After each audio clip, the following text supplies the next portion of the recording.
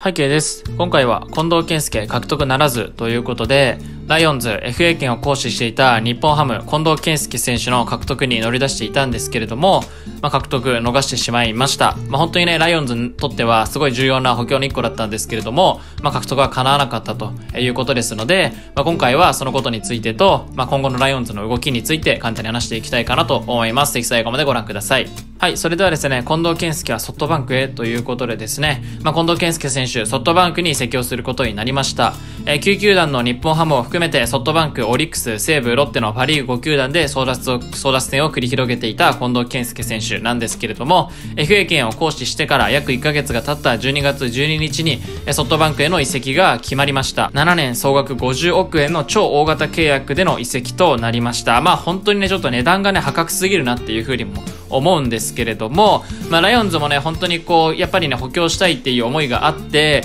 まあ、珍しくですね、FA の獲得に乗り出したんですよね。まあ、なかなかね、本当に FA 選手の獲得に乗り出す機会が、まあ、そんなにないライオンズなんですけれども、まあ、今年に関してはね、まあ、やはり補強が必要だということでですね、FA 選手の獲得に乗り出しました。で、やはりですね、まあ、重要なね、補強の一つとして、まあ、獲得に乗り出していたんですよね。まあ、本当に近藤選手が来るかどうかっていうので、まあ、来シーズンのライオンズの戦い方が、まあ、大きく変わってくる。まあ、本当に優勝狙えるのか、えー、そうじゃないのかっていう部分まで大きく関わってきてしまう。まあ、それだけ重要な補強ではあったんですけれども、えー、獲得に乗り出していたんですが、えー、獲得にならずという結果になってしまいました。まあ、率直な感想を言うと、やはり非常に残念という気持ちが強いですし、まあ、特にやっぱりこう、ソフトバンクに行ってしまったということ。まあ、ソフトバンクはやはりこう、昨シーズンもライオンズより上の順位ですし、まあ、今シーズン、まあ、来シーズンに関しても本当にこう優勝候補に上がってくるような、まあ、チームですので、まあ、そのチームにね、近藤選手が行ってしまったということがね、やはりこう来シーズン戦っていく上でね、一番きつい部分なんじゃないかなというふうには思います。まあ、そういった意味でも、まあ、非常に残念な結果に終わってしまったんですけれども、まあ、これについてはね、もう仕方ないのかなというふうに思います。で、やっぱり大事なのは、まあ、今後の動きですよね。まあ、近藤選手取れませんでしたってなった後に、まあ、どういった補強していくのか、まあ、来シーズンこう優勝だったりとか、まあ、A クラスっていうのを狙っていく上で、まあ、どういった補強に動いていくのかっていうところが、まあ、非常に大事なのかなというふうに思います。まあ、近藤選手に関しては、やはりこう獲得したいっていうところは大きかったんですけれども、まあ、5球団でね、やはりこう取り合っているということですよね。はい。まあ、ちょっとね、かなりこうハイレベルなマネーゲームになってしまったというのがあります。まあ、ソフトバンクの方も7年50億という破格の数字なので、まあ、ちょっとね、ライオンズはね、それだけの額はね、出すのは難しいですし、まあ、ライオンズも本当に6年24億出したっていう記事あったんですけれども、もうね、それが精一杯だし、まあ、それ以上出してね、まあ、獲得に取るほどの、まあ、選手かと言われるとね、まあ、ちょっと微妙な部分なので、まあ、仕方なかったのかなというふうには思います。まあ、なので、まあ、それがね、取れなかったってなった後の、まあ、これからの動きをね、どうしていくのかっていうところですよね。まあ、一応ライオンズの方はね、まあ、森友哉選手にも、まあ、6年24億積んで、で、それをね、そのまま近藤選手にも提示したといった報道がされているので、まあ、これがもし本当だとしたら、まあ、今ライオンズの手元にはね、まだ6年24億のお金が、まあ、あるわけなんですよね。はい。なので、まあ、しっかりとね、その浮いた、まあ、24億円で、まあ、なんとかね、補強していってほしいなというふうに思っています。まあ、ライオンズの方はね、まあ、近藤選手に断られたのが、まあ、11月下旬ということで、まあ、ライオンズも近藤選手取れないって決まってから、まあ、2週間以上経ってるんですけれども、まあ、まだね、次の補強の動きっていうのがほとんど進んでないんですよね。まあ、今のとこね、ライオンズの補強は何かって言ったら、まあ、現役ドラフトだけということになってしまっていて、まだ森友哉選手の人的保障も決まってないですし、まあ、外国人選手に関してもま獲得していないということですので、やはりね、今後はやっぱり外国人選手を中心に、まあ、積極的に補強っていうところに動いていきたいのかなというふうに思いますし、まあ、それをやっぱ期待していきたいですよね。で、まあ、先ほども言ったように、ライオンズの方はなかなか今のところ補強が進んでないというのがありまして、まあ、卓球団と比べるとやっぱり出遅れてしまっているっていうのが現状になっています。まあ、各球団パリーグのね、補強の現状を見ていくんですけれども、まあ、ソフトバンク、まあ、峰井選手、オスナ投手、近藤選手の3人を獲得しました。で、オリックスの方は森友哉選手とシュウィンデル外国人選手を獲得しました。で、ライオンズの方はね、今のところ現役ドラフトでヨーカー選手を獲得しただけということでね、まあ、現役ドラフトに関してはね、まあ、正直他のチームもね、やっていることですので、まあ、補強に入れていいのかどうかっていうところはね、まあ、ちょっと微妙なんですけれども、まあ、今のところね、外部から新たに選手を取ったっていうのはね、え、これだけということになっています。で、楽天の方は、安倍選手をトレードで獲得しました。で、バニュエロス選手とフランコ選手を、まあ、新外国人として獲得しました。で、ロッテの方もね、ライオンズと同様で現役ドラフトのみということになっています。で、ライオンズとロッテのやばいところっていうのは、まあ、やはりこう、補強がね、あんまり進んでないっていうのももちろんですし、まあ、西武の方は森友哉選手が移籍をしてしまった。で、ロッテの方はオスナ投手がソフトバンクに移籍をしてしまったっていうのがあってですね、まあ、補強が進んでない上に、まあ、主力選手が流出してしまっているっていうところでね、まあ、かなりね、他球団と比べるとやはりね、マイナスは大きいのかなというふうには思います。で、日本ハムの方も、まあ、近藤選手がね、やはりこう、打線の核となる選手が抜けてしまったっていうことでね、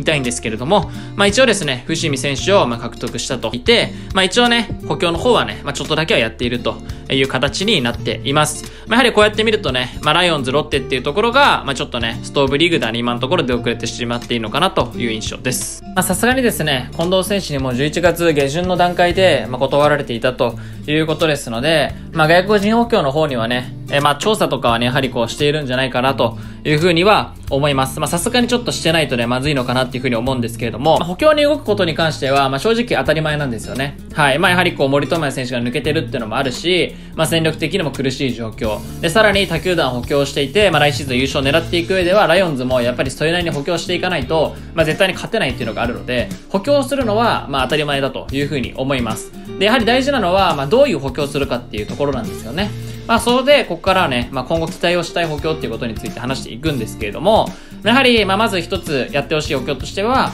まあ、スラッガータイプ、そして大砲タイプの外国人の補強ですよね。まあ、森友哉選手が移籍をしてしまった。で、森友哉選手の代わりに近藤選手獲得しようとしたけど、まあ、近藤選手も来ずということになってしまっていて、まあ、来シーズンの今のメンバーだと、まあ、中軸を張れる選手っていうのは山川選手のみという形になってしまっています。なので、やはりね、そういった形だと、まあ、山川個人軍みたいな形になってしまっていて、まあ、なかなかね、やはり他球団と戦える状況にないんですよね、今のメンバーのままだと。なので、やはりこう外国人のところは、まあ、絶対に取っていくと思うんですけれども、まあ、その中でも、まあ、どういった外国人を取るのかっていうところは非常に大事で、まあ、中軸を張れる外国人。まあ、できればやはり2割後半で、まあ、20本ぐらい打てる外国人選手っていうのを、まあ、1人とは言わず、やはり2人ぐらいは、まあ、獲得していってほしいんですよね。で、まあ、なんでね、2人獲得することに意味があるかっていうと、まあ、もともとね、オグリディ選手、ジャセ選手、外国人野手の選手2人いたっていうのももちろんありますし、やはりですね、こう、2人がね、両方活躍する可能性なんてほとんど低いんですよね。うん。まあ、外国人選手なんて本当にこう、まあ、日本である程度実績ある選手だと、まあ、計算できる部分あるんですけれども、まあ、新たにね、外部から取ってくるってなると、なかなかやっぱりこう、ガチャ的なところがあって、まあ、活躍するかどうかってやっぱ保証されてないんですね。はい。そうなってきた時に、まあ、二人とってね、まあ、両方活躍するなんてないし、まあ、一人だけってなってしまうと、その人がね、外れてしまった時点で、もう終わりになってしまいますので、まあ、そういったね、リスクを考えても、やはりね、二人、同じようなスラッガータイプ、大砲タイプの選手っていうのは、え取っていってほしいなというふうに思います。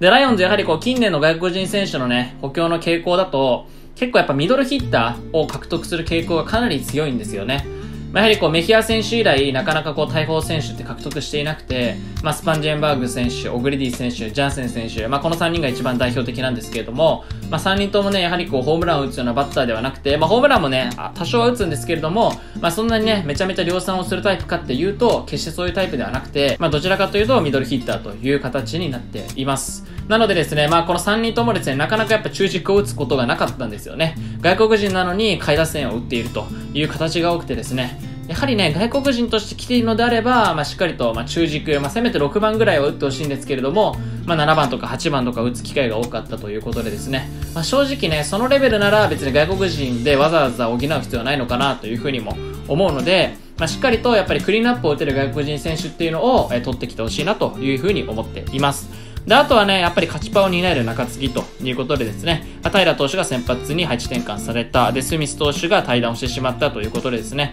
やはり昨シーズンに比べて今中継ぎが手薄になってしまっているというのが現状です。で、まあ今シーズンに関しては今他球団をね、自由契約になった、まあ中継ぎのピッチャーの中でも結構優秀なピッチャーが多いんですよね。まあオスナ投手はソフトバンク行ってしまいましたけれども、まあそれ以外にもね、本当にバイスターズのクリスキー投手だったりとか、楽天のブセニツ投手だったりとか、まあ巨人のビエラ投手だったりとか、まあ本当にこう日本でね、ある程度活躍をしている外国人の中継ぎピッチャーっていうのが、まあ、結構多いですし、まあ、実際にね、勝ちパターンセットアッパーとして活躍をしたという実績もある選手がいます。なので、やはりですね、まあ、そういった選手を獲得していってほしいっていうのが、まあ、正直なところですし、まあ、そういった選手やっぱ獲得するってなるとお金かかってしまうんですけれども、まあ、近藤選手取れなかった分、まあ、そして森友哉選手出ていってしまった分ね、やはりお金はね、ある程度浮いていると。で、ジャンセン選手、オグレディ選手も切っているので、まあ、やはり浮いてるんですよね、スミス投手も切ってるんで。なので、やはり浮いたお金でね、しっかりとこう、大物外国人っていうのを、まあ、しっかりと獲得していってほしいなというふうに思っています。まあ、そこがやっぱできないと来シーズンなかなかライオンズ A クラス優勝っていうところを狙っていけないのかなというふうにも思いますので、まあ、補強するのはやっぱり大前提当たり前っていうところと、まあ、どういう補強するのか、えどういう選手を獲得するのかっていうところをね、えぜひ注目をして見ていきましょう。以上です。はい、今回も最後までご視聴ありがとうございました。今後もライオンズに関する動画を上げていくので、ぜひチャンネル登録の方よろしくお願いします。Twitter の方も毎日更新をしているので、ぜひチェックしていただけると嬉しいです。皆さんの中でこんな動画見たいなどリクエストありましたらコメント欄の方に書いていただけると嬉しいです。ありがとうございました。